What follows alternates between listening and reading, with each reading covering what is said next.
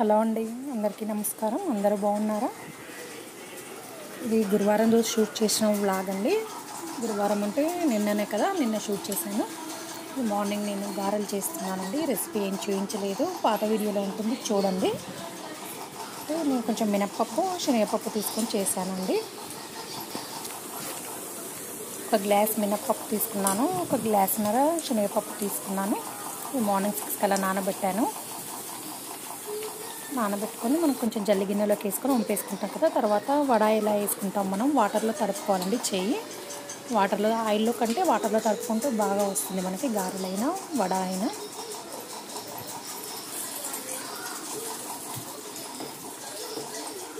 చాలా రోజులు అయిపోయిందండి గారెలు చేయక నేను అందుకోసమని వర్షం పడుతుంది కదా. చల్లగా ఉంది కదా వెదర్ అని చేశాను నేను.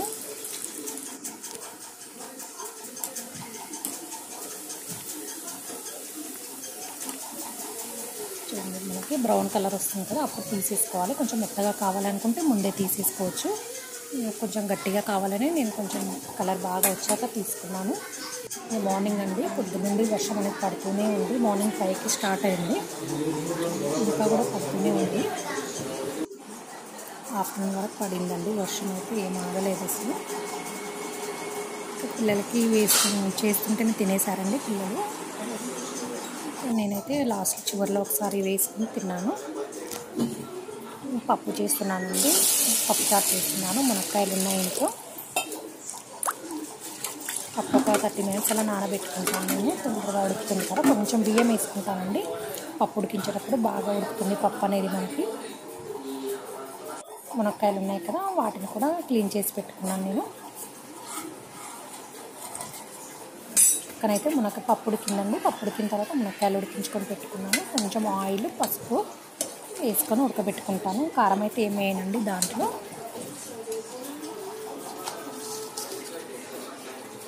ఇంకా పొటాటో కొంచెం ఆనియన్ టమాటా పచ్చిమిర్చి కట్ చేసి పెట్టుకున్నాను అండి వెజిటేబుల్స్ అన్నీ ఉంటే అన్నీ వేస్తాను. ఇంకా టైం చాలా రోజులు అయిపోయింది కదా వెజిటేబుల్స్ తీసుకొచ్చి అయిపోయాయి ఏం లేదు.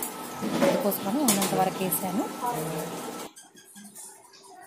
ఇప్పుడు పప్పుచారు పోపు వేసుకుంటున్నాను నేను. ఒక రెండు మూడు లవంగా వేసుకున్నానండి. బాగుంటుంది. లవంగాలు ఒక చిన్న ముక్క చెక్క ఉంటుంది కదా దాల్చిన చెక్క. కొంచెం సాజీరా వేసుకోవాలండి చాలా బాగుంటుంది. ఇప్పుడు అవన్నీ పైన ఉన్నాయి. నేను తీయలేదు. కొంచెం లవంగా అయితే వేసుకున్నాను. ఆనియన్ పచ్చిమిర్చి జీలకర్ర ఆవాలు. ఆలు ఉంటుంది కదా ఆలు వేసుకున్నాను. బాయిల్ చేసి నేను కాదండి పచ్చిదే ఆలు మనం పైన పొట్టుంటుంది కదా దాన్ని తీసేసుకొని వేసుకోవాలి. టమాటా కొత్తిమీర కరివేపాకు వేసేసుకున్నాను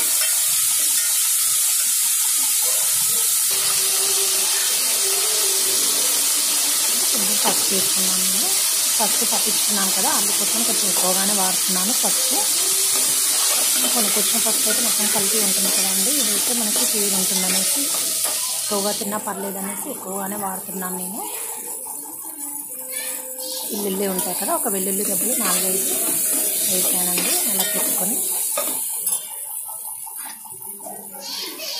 మనకి మునక్కాయలు ఉంటాయి కదా పోపు అనేది రెడీ అయిన తర్వాత మునక్కాయలు ఆల్రెడీ కొంచెం బాయిల్ చేసి పెట్టుకున్నాను నేను. హాఫ్ బాయిల్ చేసి పెట్టుకుంటానండి మునక్కాయలు. తర్వాత ఆయిల్లో కొంచెం ఫ్రై అయితే టేస్ట్ అనేది ఇంకా బాగుంటుంది మనకి. మునక్కాయలు కూడా ఆయిల్లో ఫ్రై అయిన తర్వాత చింతపలు చింతపులుసు ఉంటుంది కదా గుజ్జు. అది కొంచెం వేసుకున్నాను సరిపడినంత.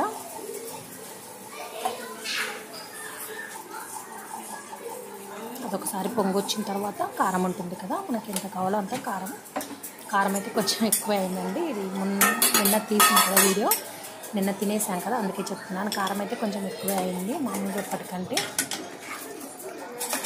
కారం సరిపడినంత ఉప్పు వేసుకొని ఒకసారి కలిపి పెట్టుకోవాలండి.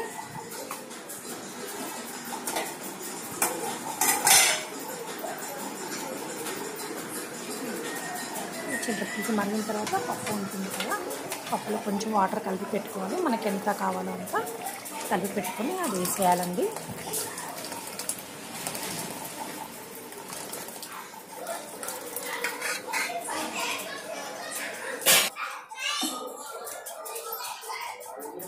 చూడండి మనకి ఇంకొంచెం లూజ్గా కావాలనుకుంటే వాటర్ వేసుకోవచ్చు. ఇంకొంచెం మరగాలి కదండి చారు అనేది.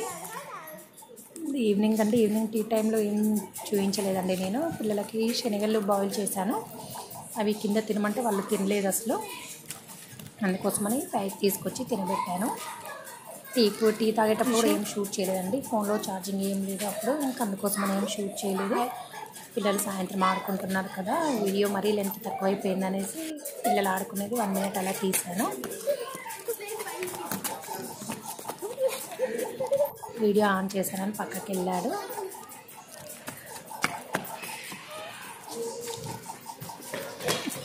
మీరు ఎవరైనా కొత్తగా నా ఛానల్ని చూస్తున్నట్లయితే తప్పకుండా సబ్స్క్రైబ్ చేసుకోండి. లైక్ చేయండి షేర్ చేయండి. మీకు ఏమైనా రెసిపీస్ ఏమైనా కావాలంటే తప్పకుండా కామెంట్లో చెప్పండి. నేను చేసి చూపిస్తాను.